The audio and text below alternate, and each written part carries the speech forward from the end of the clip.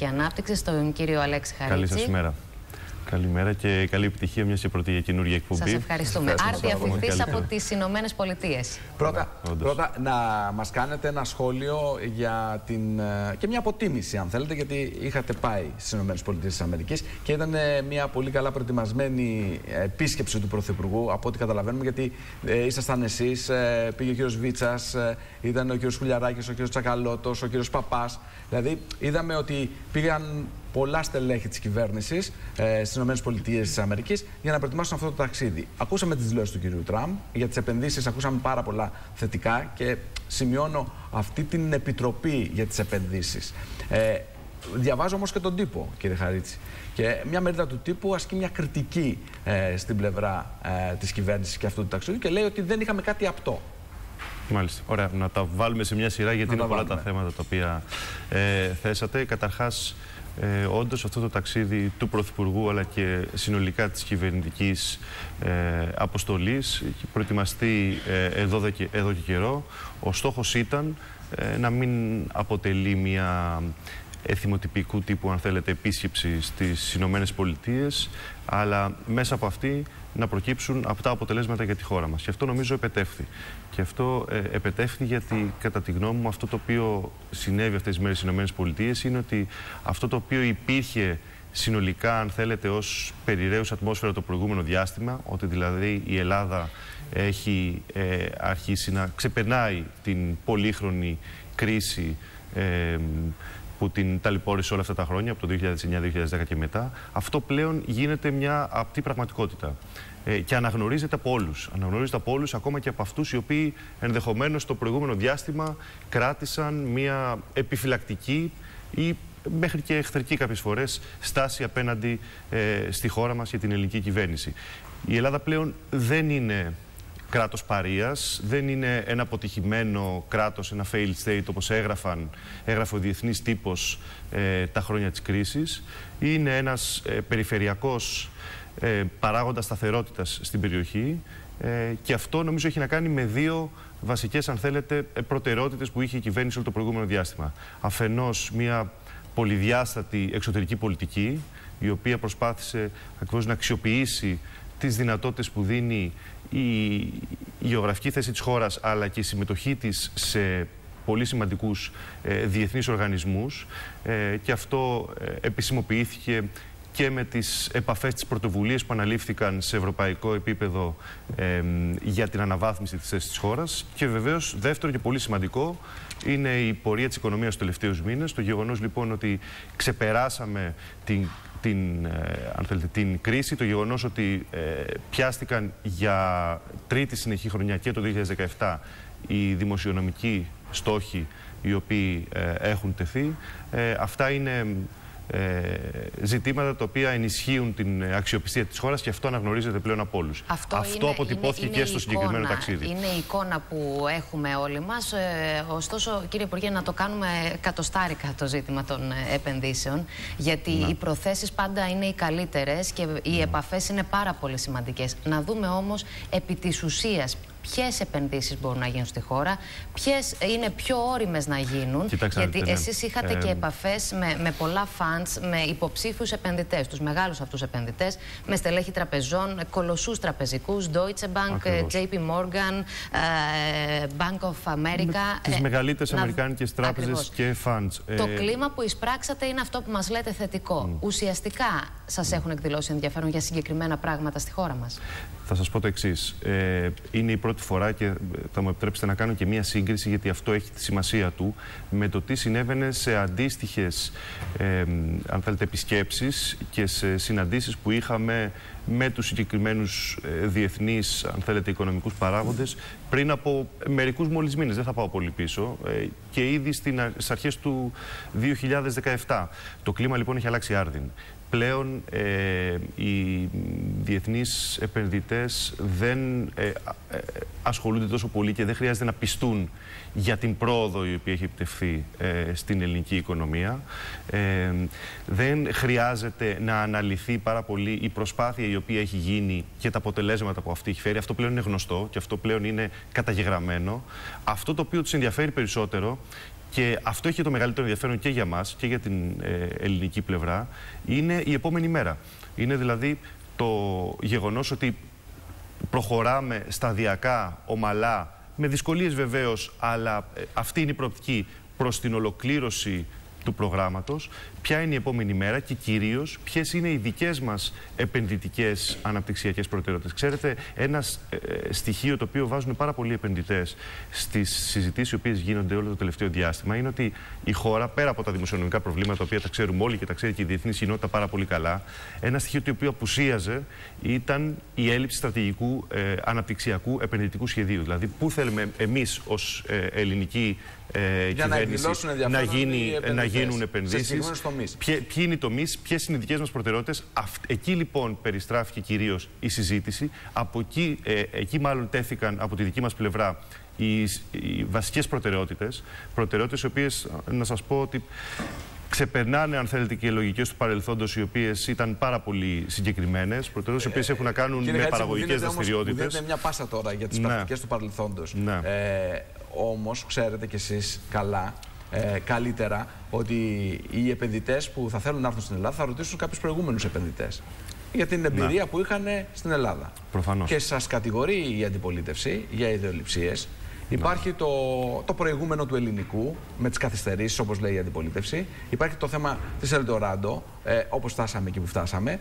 Ε, Επομένως, αυτοί οι επενδυτές που θα έρθουν, προφανώς, επειδή είμαστε μια παγκόσμια οικονομία και μιλάμε για κολοσσούς, για φαντ τα οποία ε, έχουν τις πληροφορίες. Ε, αυτό δεν είναι μια αρνητική εικόνα για τον τρόπο που κάποιος θα έρθει να κάνει ε, επένδυση στην Ελλάδα. Κύριε Παναγιωτόπουλο, έχει πολύ μεγάλο ενδιαφέρον ότι όταν ε, θα μου επιτρέψεις να το πω αυτό. Όταν φεύγεις από τη χώρα, έστω και για λίγες μέρες και κάνεις επαφές με διεθνείς παράγοντες, βλέπεις ότι τελικά το κλίμα για την Ελλάδα και για την ελληνική οικονομία στο εξωτερικό είναι πολύ καλύτερο από ό,τι είναι στο εσωτερικό. Γιατί στο εσωτερικό, δυστυχώς, όλο το τελευταίο διάστημα έχουμε αναλωθεί ε, με ευθύνη κυρίως της αντιπολίτευσης και ενός μέρους των μέσων μαζικής ενημέρωσης, θα μου επιτρέψετε να πω, σε μια ε, αντιπαράθεση η οποία είναι ανεφουσία.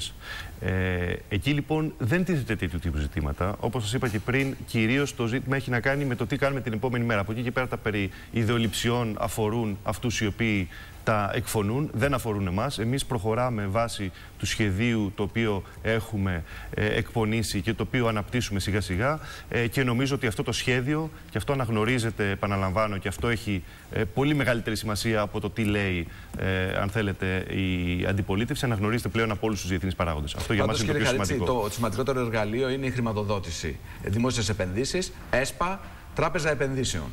Να. Σε αυτά που βρισκόμαστε. Να. Η αντιπολίτευση σας κατηγορεί ότι η απορρόφηση ναι, καθυστερεί. Γιατί, ε, ξέρετε, ε, υπάρχουν οι προβλέψεις, οι αριθμοί και οι αριθμοί. Ο καθένας βλέπει τον αριθμό που τον συμφέρει, τον βολεύει και τον προωθεί.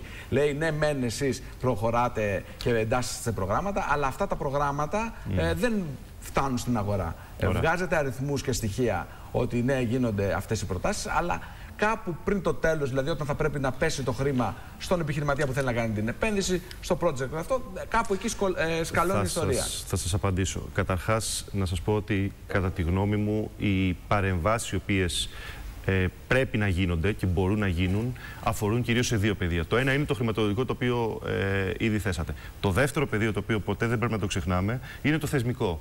Έχουν γίνει το τελευταίο ε, διάστημα, το τελευταίο ένα-ενάμιση χρόνο, πολύ σημαντικές θεσμικές νομοθετικές παρεμβάσεις από την κυβέρνησή μας και από το Υπουργείο Οικονομίας συγκεκριμένα σε σχέση με τη βελτίωση του οικονομικού περιβάλλοντος. Αυτές έχουν να κάνουν με την απλοποίηση των διαδικασιών αδειοδότησης των επιχειρήσεων, έχουν να κάνουν με τις προσπάθειες που γίνονται και με την ολοκλήρωση του θεσμικού πλαισίου για την αντιμετώπιση του βασικού προβλήματος του τραπεζικού συστήματος που είναι τα κόκκινα δάνεια με τον ε, εξοδικαστικό μηχανισμό έχουν να κάνουν με ε, ζητήματα τα οποία σχετίζονται με την απλοποίηση διαδικασιών, με την ενίσχυση της διαφάνειας, με την βελτίωση λοιπόν συνολικά ε, του περιβάλλοντος μέσα στο οποίο καλούνται να λειτουργήσουν οι επιχειρήσεις και οι πολίτες. Και αυτό νομίζω είναι μια πάρα, πολύ, μια πάρα πολύ σημαντική, πιο εύκολα άδεια και πιο εύκολη η σύσταση, και πιο εύκολη η σύσταση των, επιχειρήσεων επιχειρήσεων. Στην πράξη, Από εκεί και πέρα για να έρθω όμω. Δεν συναντούν γραφειοκρατικά ζητήματα. Βεβαίως και επιτρέψτε. Βεβαίως ε, συναντούν και γραφειοκρατικά ζητήματα. Που εκεί υπάρχει και ένα εκεί, πρόβλημα και εκεί και στο κομμάτι της δικαιοσύνης έχει γίνει μια πολύ μεγάλη προσπάθεια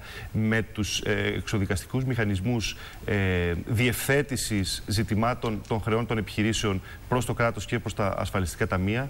Ε, κοιτάξτε να δείτε, μιλάμε για ένα πλαίσιο, θεσμικό πλαίσιο δεκαετιών παγιωμένο στη χώρα, το οποίο προσπαθούμε σιγά σιγά σταδιακά να αλλάξουμε. Αυτό δεν γίνεται από τη μια μέρα στην άλλη κακά τα ψέματα.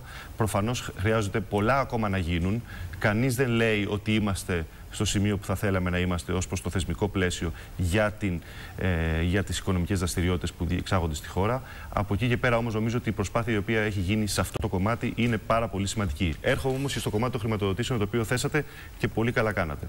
Γιατί είναι ακριβώς ένα πάρα πολύ σημαντικό και είναι ένα ζήτημα το οποίο συζητήσαμε και στην επίσκεψη στις ΗΠΑ με, με τις τράπεζες, με τα φαντ τα οποία ε, συναντήσαμε. Γιατί είναι αυτή ακριβώς η χρηματοδότηση, η δημόσια χρηματοδότηση, η οποία, αν θέλετε, ξεκλειδώνει και ιδιωτικές επενδύσεις. Ε, λειτουργεί, αν θέλετε, ως προπομπός για την πραγματοποίηση και ιδιωτικών ε, επενδύσεων. Εκεί λοιπόν να πω το εξής. Ε, πρώτον, σε σχέση με το κομμάτι του ΕΣΠΑ.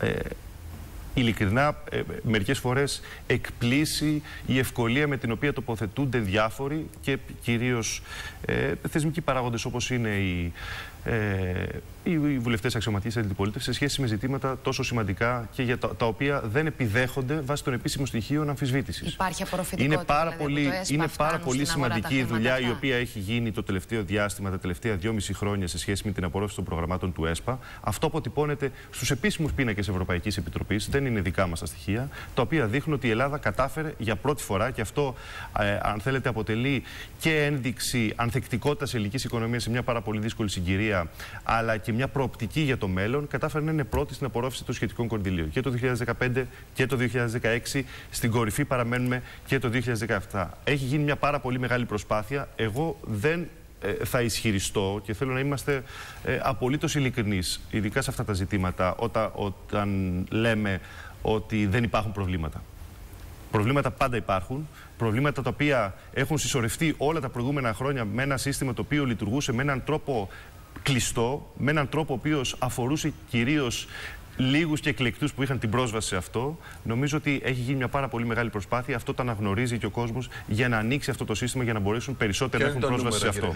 Για να έχουν μεγαλύτερη πρόσβαση σε αυτό. Ποιο είναι το νούμερο, το πόσα, νούμερο... Πόσα, λεφτά, πόσα λεφτά θα πέσουν Κοιτάξτε. από το ΕΣΠΑ και πολύ γρήγορα, αν μπορεί να μα θα σας πω το νούμερο, ναι. Θα σας πω το νούμερο για να μην λέμε, λέτε ότι χρησιμοποιώ δικά μου στοιχεία. Θα σας ναι. πω το νούμερο το οποίο αποτυπώνεται στην απόφαση του Eurogroup της 15ης Ιουνίου.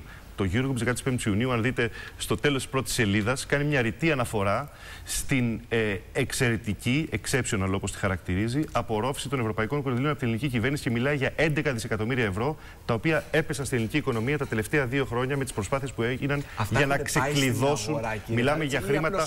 Όχι, προγράμματα που Μιλάμε, έχουν εγκριθεί. Όχι, θέλω να είμαι απολύτως σαφή. Είναι άλλο πράγμα τα χρήματα τα οποία έχουν δεσμευτεί για να εκταμιευθούν. Είναι και είναι άλλο πράγμα τα χρήματα τα οποία εκταμιεύτηκαν πραγματικά. Μιλάμε, θα σας δώσω, για, μιλάμε για πραγματικές χρηματοδοτήσεις, οι οποίες έφτασαν στην πραγματική οικονομία. Είτε αυτά αφορούν μικρομεσαία επιχειρηματικότητα, είτε αφορούν έργα υποδομών πάρα πολύ σημαντικά στο σύνολο της χώρας ε, θα, να πάτε στους Δήμους και στις περιφέρειες όλης της χώρας οι οποίοι αναγνωρίζουν ακριβώς αυτή την προσπάθεια η οποία έχει γίνει, είτε αφορούν υποδομές του κοινωνικού κράτους. Υπενθυμίζω ένα, δύο μάλλον πολύ χαρακτηριστικά παραδείγματα. Το ένα είναι η χρηματοδότηση με τα αναγκαία κονδύλια για την πρόσληψη όλων των αναγκαίων αναπληρωτών καθηγητών, το οποίο για δεύτερη χρονιά έγινε στην ώρα του και το 2016 και το 2017 σε μια στενή συνεργασία με το Υπουργείο Παιδείας καταφέραμε να ε, δεσμεύσουμε τους σχετικούς πόρους, να τους εκταμιεύσουμε και να ανοίξουν τα σχολεία στην ώρα τους με τα χρήματα από το ΕΣΠΑ για τους αναπληρωτές καθηγητές. Και δεύτερο, πάρα πολύ σημαντικό, ε, για τους παιδικούς σταθμούς, η προσπάθεια η οποία έγινε και φέτος για πρώτη φορά έχουμε περισσότερα από 100.000 παιδείε παιδικούς σταθμούς και αυτά είναι χρήματα του ΕΣΠΑ με την προσπάθεια η οποία έγινε. Έχει πολύ μεγάλο ενδιαφέρον αυτό που μας. Μια τελεία ναι. να πάμε σε τίτλους ειδήσεων με την Νίνα και μετά να μας ε, συμπληρώσετε αυτό που θέλετε, αλλά να μας δώσετε και πληροφορία για το εξοικονομό κατοίκων. Τι θα γίνει με αυτό. Πάμε Νίνα Γασιμάτη. Τίτλους ειδήσεων και επιστρέφουμε στο στούντιο.